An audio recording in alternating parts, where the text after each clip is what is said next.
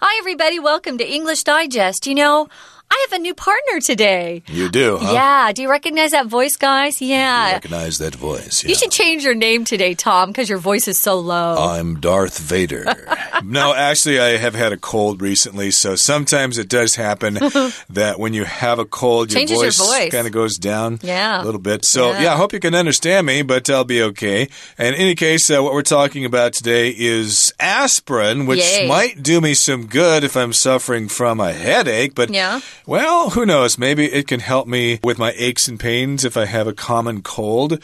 But this is our history unit today, and we're talking about the pill that packs a powerful punch. Hey, check that out. All those P's there. It's like a tongue twister. The pill that packs a powerful punch. It's good, huh? we is. actually use the phrase to pack a punch a lot. We usually don't put powerful in there, but it's really cute because we've got one, two, three, four P's.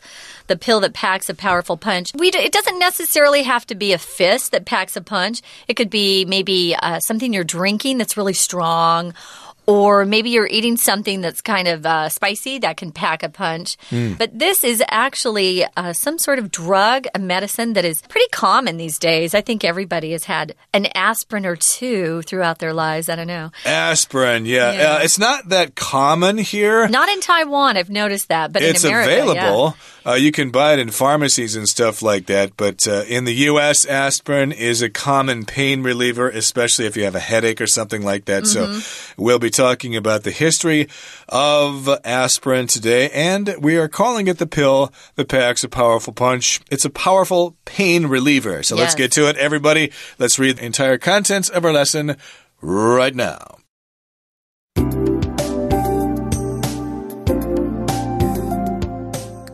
Whether you're suffering from a headache, muscle pain, or a common cold, aspirin always seems to do the trick. Yet, what is it about this tiny pill that makes it so effective at combating pain? The concept of using aspirin as medicine dates back to around 400 BC to the legendary Greek physician Hippocrates. He prescribed patients ground willow bark as a painkiller. Although it was extremely effective, the use of willow bark fell out of favor during the Middle Ages and only survived through folk medicine. Then, in 1757, an English cleric named Edward Stone nibbled on some willow bark and wondered if it had therapeutic properties. Stone began offering willow bark to people with fevers and learned that it frequently improved their conditions, sparking further research into this herb. Scientists determined that salicin was the active ingredient in willow bark, and this is what made it effective as medicine. After managing to isolate and extract salicin, scientists learned that salicylic acid, which is produced when salicin is broken down in the body, was extremely upsetting to people's stomachs. In 1897, German chemist Felix Hoffmann used a formula to neutralize salicylic acid and make it more tolerable to people's tummies. When the medicine helped relieve his father's arthritis, Hoffmann convinced his employer, Bayer, to sell it as a wonder drug in 1915. As science advanced, it was learned that aspirin had even more health benefits than anticipated. Researchers have discovered that aspirin can reduce the risks of heart attacks and strokes in people with a history of heart disease. As a result, many doctors advise high risk patients to take an aspirin each day to prevent these conditions. So the next time you take an aspirin to soothe your pain, spare a thought for those clever chemists who made treating it so easy. Okay, everybody, the time has come for us to discuss the contents of today's lesson. We're talking about the pill that packs a powerful punch or aspirin. Okay, aspirin. Now, whether you're suffering from a headache, muscle pain, or a common cold, aspirin always seems to do the trick. Uh, here's a common pattern here whether something is the case, and then you finish off with a statement. So, here, whether you're suffering from a headache, if you're suffering from a headache, or if you have muscle pain, or if you have a common cold, well, aspirin seems to always do the trick. And in the sentence, we have the phrase to do the trick. And that just means something is effective, and it's kind of a slang phrase. We use it, okay? yeah. It's kind of informal, so don't use it in an official situation. But, well, gee, I'm kind of thirsty. Maybe a pearl milk tea will do the trick. Yeah, we use it a lot when we're drinking things for some reason. Mm. If you're really thirsty and you get a cold drink, ah, that did the trick. It was just what you needed. But we do use that quite often. So keep your ears open for some of these phrases that uh, we talk about. Now, yet, what is it about this tiny peel that makes it so effective at combating pain? When something's effective, it does what it's supposed to do, it works right. We talk about medicine being effective. Maybe you have a new policy at work that's trying to change the way you do business, and it's really effective. It's working. So it produces the desired result. That's what effective means. But we'll often use it to talk about something that does the job it's supposed to do. When you combat pain, you're battling, you're fighting the pain. And we use that word combat. The noun form is combat, the verb is combat. Sorry about that, guys. We do that in English all the time. Mm-hmm. So if it combats, it just means you're battling, you're fighting something. We use it to talk about war. They were in the 1909 combat. I'm making that up. So now we're going to go on to the second paragraph here. The concept of using aspirin as medicine dates back to around 400 BC to the legendary Greek physician Hippocrates. Legendary means someone's very famous. I think primarily we use it when we talk about people who've passed away, but not always. Nope, not always. We could talk about the legendary violinist Itzhak Perlman, who's my favorite violinist. Oh, yeah, he's the guy in the Perlman. wheelchair, right? He, yeah, he, he's, uh, yeah, he can't walk. So you can be very, very famous. You could be dead or alive, but people know who you are. If you're a physician, you're a doctor. Exactly. You are famous enough to be famous or remarkable enough to be famous. And so this doctor, of course, lived a long time, a long time ago, back to around 400 BC. Yeah. So let's see, it's about what, uh, 2017 now plus 400. So that's about 2,400 years ago in Greece. Greece is the country. And then anything describing Greece is Greek, like the Greek language, Greek architecture, Greek legends, Greek, food. I love Greek food. Yeah. I guess it is pretty tasty. Yeah, so, good. Uh, in any case, here we've got the word physician, and that's just a fancy word for doctor. Yeah. Uh, sometimes doctor is used for people who have PhDs, you know. So if you want to be specific about a person actually medical doctor. being a medical doctor, Yeah. you say physician. Sometimes you hear GP as well, general practitioner. That's only in England, though. A okay, well, I've heard the term, but in any case, You listen to British radio all the time. maybe a little bit too I much. I wanted to but, mention, yeah. though, too, physician and doctor are the same, but surgeon is a special type of doctor. Hmm. He's able to um, do operations, perform surgery, but physician and doctor are the same. Hippocrates is that famous physician that uh, came up with this um, aspirin, using aspirin as medicine. Before we go on, I wanted to mention, too, it's one of these words where we have a pronunciation aspirin, which sounds like three syllables, or you can just say aspirin. They're both correct. It's like interesting and interesting. They're both correct. Okay, good enough there. So, again, we're talking about the history of aspirin, and it dates back probably to Hippocrates. Around 400 BC, he was a legendary physician and he prescribed patients ground willow bark as a painkiller. Now, willow bark, uh, that is the skin of the willow tree, liu shu in uh, English, in Chinese, that's a willow tree. So, shu pi is bark, so willow bark is the skin of the willow tree. And then if you take the bark off the tree, you dry it, and then you grind it down into powder, then you get ground willow bark. And I guess at that time it could be used as a painkiller, which is something that kills your pain, gets rid of the pain like morphine does if you're having an operation or something like that. Yeah, it's interesting. I've grown up with willow trees and I never knew that the bark had this in it. Who knew? Wow, it's pretty amazing. Wonder how they found that out. huh? yeah, I know. Who's grinding up bark and eating it? Well, like a lot of things, they probably just discovered it by accident. But Yeah. of course, if you're a doctor and you want to give your patient some medicine, Mm-hmm. then you need to prescribe that medicine to them. Okay, so the the doctor prescribed medicine to the patient. Uh, that's the phrase here. But he prescribed this willow bark to his patients to serve as a painkiller. Prescribe, that's the verb. And then the noun form is prescription. Mm. Oh, I need to go to the pharmacy to get my prescription filled. Yeah, I've learned something very interesting having lived here now for, you know, 11 years. Mm. You can't just walk into most of these hospitals and get a prescription like we have in the US, mm. Which are written on a pad and they have the doctor's signature and they, you know, they can rip off a sheet. Here, everyone's uh, using a computer. The only place in Taiwan that I found that has a prescription that I can send to America and get filled is at the uh, Mackay Hospital, the veteran okay. hospital. Yeah, who knew? So okay. now you know, guys, mm -hmm. your system is so up to date that your doctors are actually typing in a prescription that goes to the pharmacy in the hospital and then it's filled. Well, when I lived in the U.S., I was yeah. a pretty healthy boy, so Me I never actually got a prescription in mm. the hmm. U.S. And after I got mm. here, of course, I got a little older.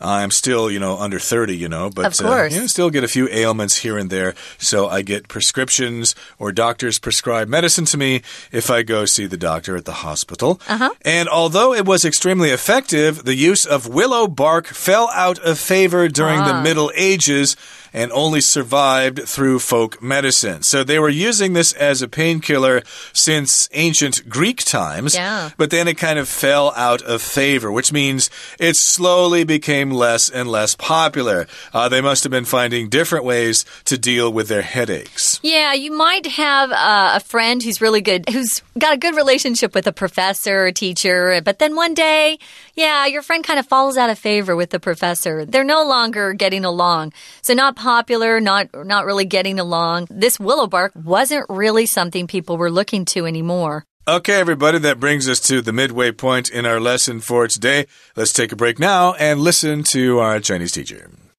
Hello, everyone. My name is Tina. 我们今天要介绍的呢是阿司匹林这个药丸。首先来看到第一个空格，Yet what is it about this tiny pill that makes it so effective at blank one pain？在这里大家都知道，阿司匹林它主要的效果就是能够呢 停止这样子的疼痛，那么所以它在哪一个部分是非常的有效？我们看一下第一题的 A 选项，commanding 命令，B combining 结合，C combating。与什么战斗？D composing 作曲，阿司匹林可以帮助你有效的止痛，所以对于呢跟这个疼痛来战斗搏斗呢，它是可以说是非常 effective。所以第一题搭配文意，正确答案我们就选择 C combating。接着来叙述一下他发现的这个历史。Blank two, it was extremely effective. The use of willow bark fell out of favor during the Middle Ages. 原本呢是发现呢，你去尝了这个柳树皮，然后呢看看它是不是有效，然后怎么样，它极度的有效。但是这种柳树皮的用法到了中世纪就就不受到大家的青睐了，这实在是很可惜。所以在这里连接句意，第二题 A 选项 since 自从，B once 一旦。C until 直到 D although 虽然尽管虽然很有效，但是在中世纪却不受到青睐，只变成了一种民俗的疗法。搭配文艺，第二题的标准答案我们就选择 D although。We're going to take a quick break. Stay tuned. We'll be right back.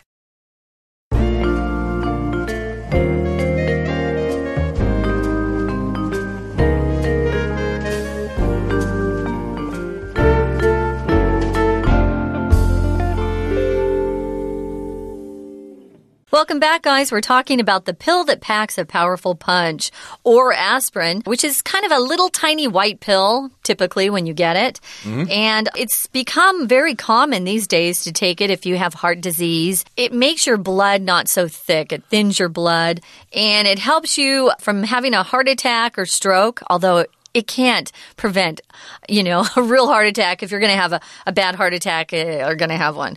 But it's something that doctors use and prescribe to people with heart disease. We'll talk about that in a minute. Right now, we're going to go back in history to 1757, and there was an English cleric named Edward Stone, and he, for some reason, wanted to eat some tree bark. And he nibbled on some willow bark and wondered if it had therapeutic properties. You know, maybe that's how some of these uh, medicines or drugs were discovered. People started eating different plants to see what would happen. Although that can be dangerous because some plants are poisonous, so be careful. A cleric is just another word for someone in a Christian church that's like a priest or a minister. Cleric. They use that word a lot more back in history. They don't use it so much today. but- It's more of a historical Yeah. term for sure. So this English pastor, priest, minister, or Yeah. whatever, maybe he was sitting next to a willow tree and some bark fell into his water or something, just like the same thing happened to Shen Nong in China. Oh. And that's how we've got tea now. Well, for some reason, we don't know how, but he nibbled on that willow bark. To nibble just means to kind of chew on something like rabbits uh, when they nibble on carrots or grass or stuff like that. Just taking small little bites. So he nibbled on this willow bark mm, mm, mm, and he wondered if it had therapeutic properties. So he wondered, hmm, maybe this stuff will actually do something to help people who are sick. That's kind of what therapeutic means something that will heal a disease. Therapeutic, and that's related to the word therapy. Hmm. You might get therapy for a certain kind of illness, a period of treatment or a kind of treatment. Yeah. Therapy. Yeah, if you hurt your knee, maybe you have to get uh, some physical therapy and someone helps you move your leg to exercise it so it gets back in shape. That's therapy. So that's interesting. He just started eating some of this willow bark and and began thinking about whether it could be used. Properties seems to refer to things like features that something has, something that uh, it can do, the properties. Uh, let's see. Characteristics? Characteristics, features, characteristics. An attribute is an, another word for that. So, and all drugs have different types of properties or things that, that it can do, different characteristics.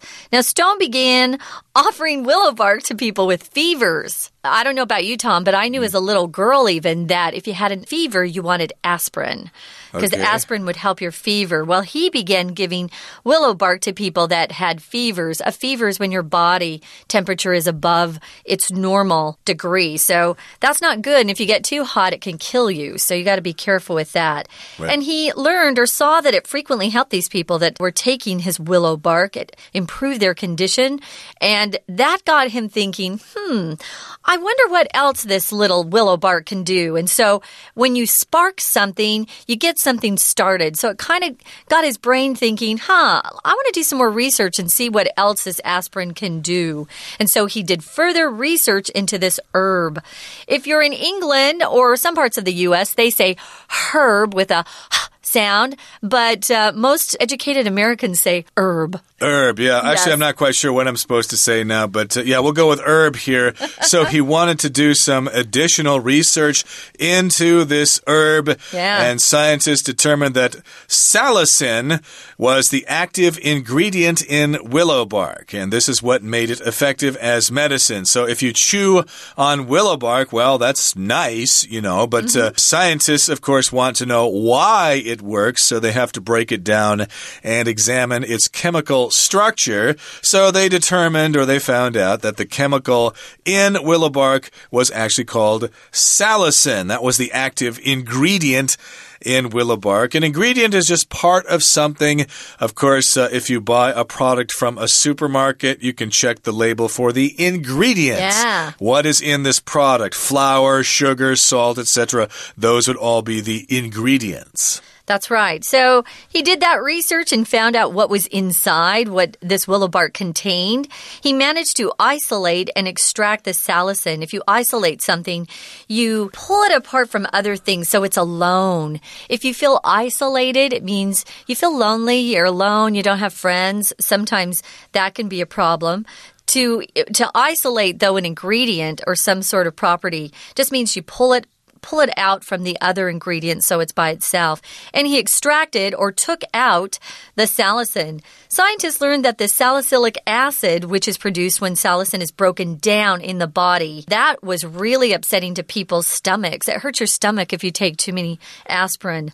I know because I've done it. Now, if you break something down in your body, it just means your body is digesting something and pulling something apart so it can use different properties. You know, maybe it's using food that you've eaten to produce some protein, maybe it's giving you energy. Well, salicin is actually broken down in the body as well, but it was hurting people's stomachs. Uh, yeah, so uh, when you eat food, your digestive system will break down your food so that your body can use it. So here, the salicin, again, which is the active ingredient in willow bark, it gets broken down in the body, and as a result of that, it produces salicylic acid. Acid doesn't sound good. We hear sometimes about people throwing acid in people's faces in various parts Ew. of the world, which is no fun, of course but in this particular case, the salicylic acid can upset people's stomach. It can make them feel like they have a stomach ache. So, way back in 1897,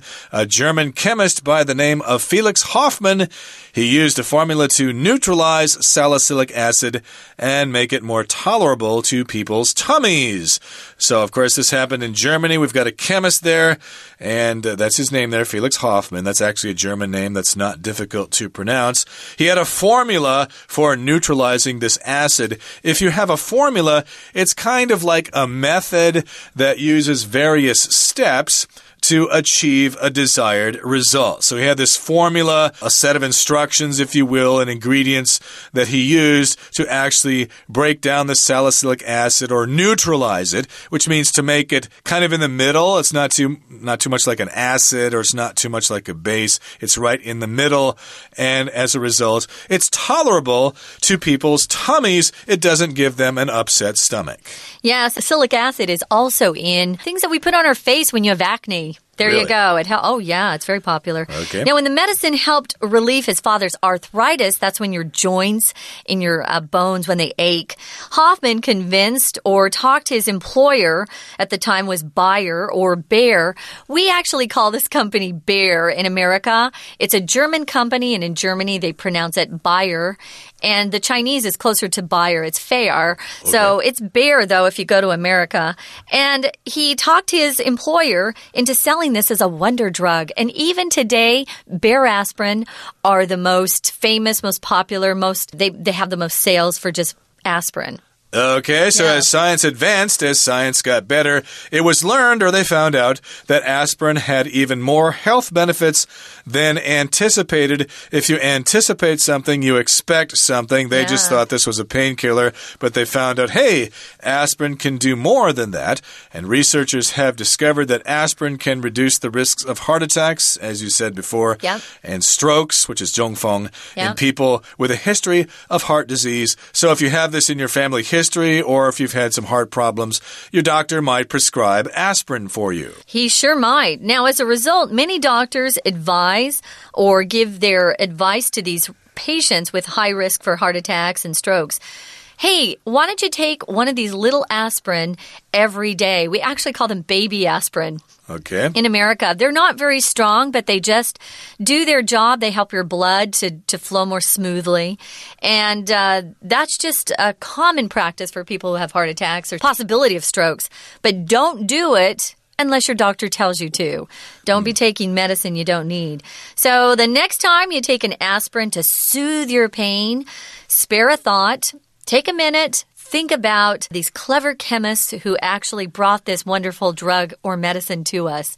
We're really appreciative of them, that's for sure. Wonderful. So that brings us to the end of our lesson. It's time now to listen to our Chinese teacher.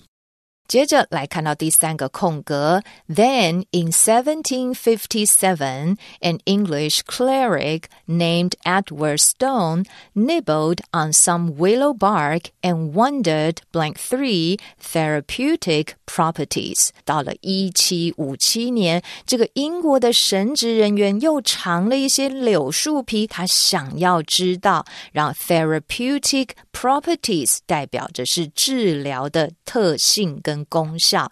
我们来看一下第三题，我们在 wonder 后面想要知道这个东西是不是会有治疗的特性，所以搭配文意，还有过去的时态以及文法句型结构，我们可以选择 B 选项，if。It had 想要知道这个东西是否有这样子的治疗特性，所以第三题的标准答案符合句意跟文法，我们就选择 B。If it had，接着来看到第四个空格，我们从后半句来看，他开始尝试了以后呢，就知道这样子可以改善他们的病症。